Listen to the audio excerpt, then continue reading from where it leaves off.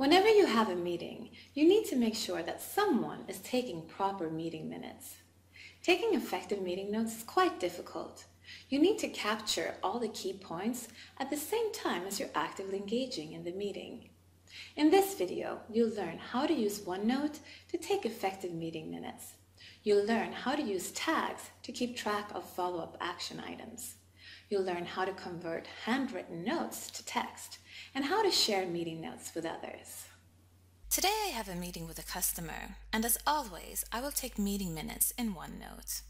I have all meeting minutes gathered in a notebook dedicated for work-related notes under the section group called Meeting Minutes. To create a new page for this customer meeting, under the Customer Meeting section, I'll click the plus sign to create a new page. If you have information about the meeting in your Outlook calendar, you can insert it directly into the page.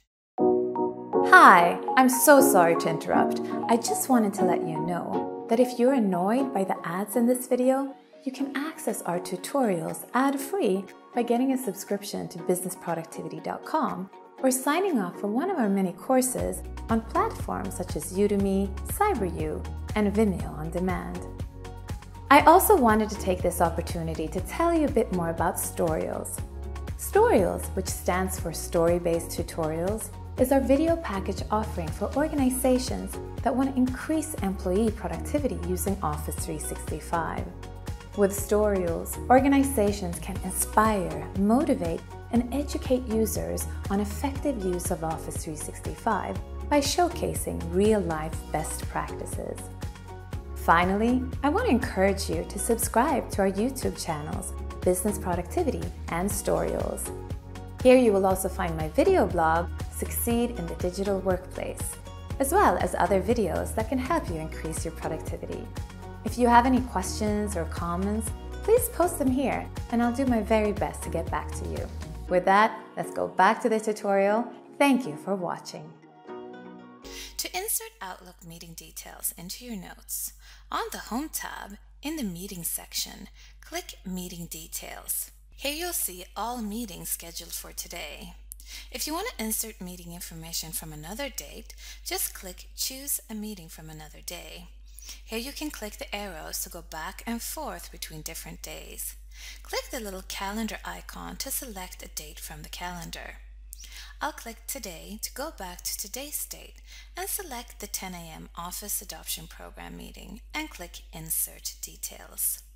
The meeting name, the date, location, and the names of the invited attendees are inserted, as well as the link to the Outlook meeting invitation and the invitation message. Click Expand next to the invitation message to see the full message. Here I can see the agenda that was included in the invitation. Another way to do this is to open up the meeting invitation in Outlook.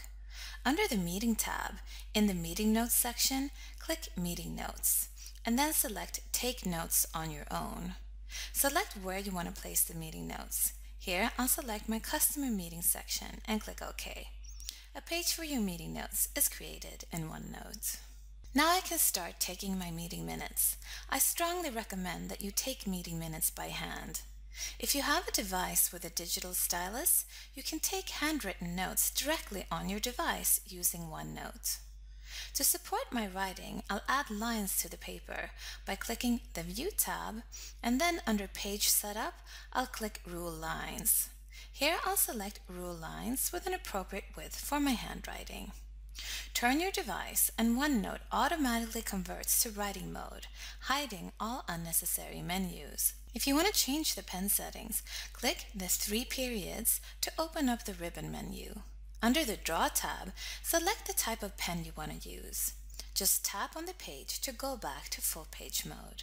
When you take meeting minutes, you should make sure to write down the most important things, such as action items, deliverables, decisions, and so on.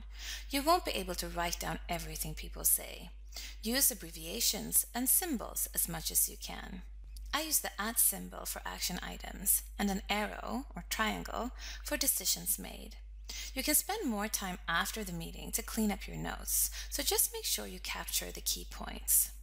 When I'm done taking my notes on my device, I'll synchronize the notebook by touching the notebook name and pressing Sync this notebook now before I close it down.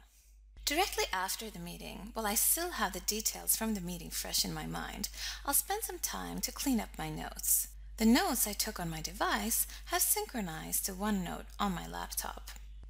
To keep a copy of your handwritten notes as a reference, right-click the Page tab and select Copy. Right-click again and select Paste. I'll right-click the copied page and select Make Subpage so that I know the pages belong together. Before I convert the handwriting into text, I'll remove the ruler lines by clicking the View tab, and under the rule lines, I'll select None. Now I want to convert my handwriting into text. To convert handwriting into text, click the Draw tab, and then in the Convert section, click Ink to Text. Everything that's handwritten on the page is converted to text. If you've used a lot of abbreviations and symbols, the converted text won't be perfect, but it will at least be a good starting point.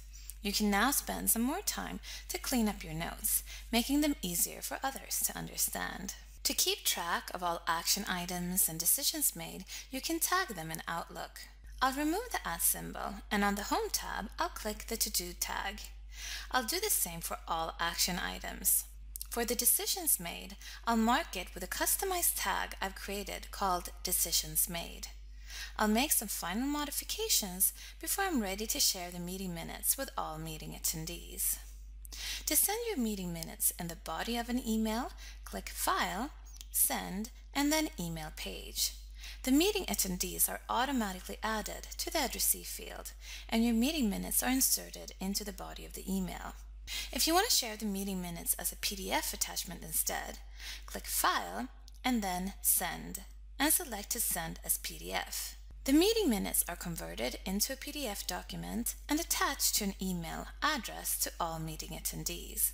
The PDF document is identical to the OneNote page. I'll write a short note and then send off the email with the attached meeting minutes. Later today, I have a meeting with some colleagues regarding our company offsite. If you have frequent meetings with the same people, it's very beneficial to use a shared notebook where you can all access meeting minutes from your meetings.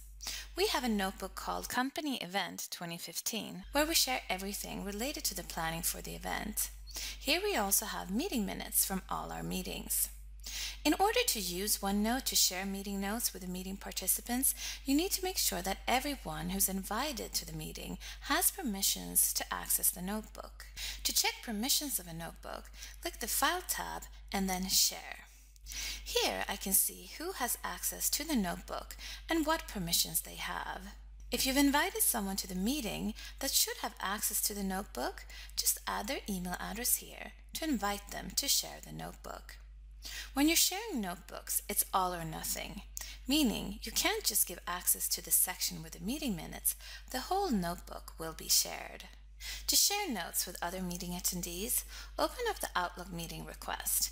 If you haven't already done so when you sent out the meeting invitation, on the Meeting tab, click Meeting Notes. Select Share Notes with the meeting.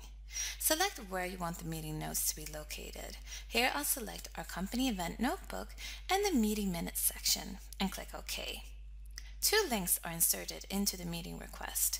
One link that opens up the meeting minutes in the OneNote application, and one link which opens up the meeting minutes in a browser using OneNote Online.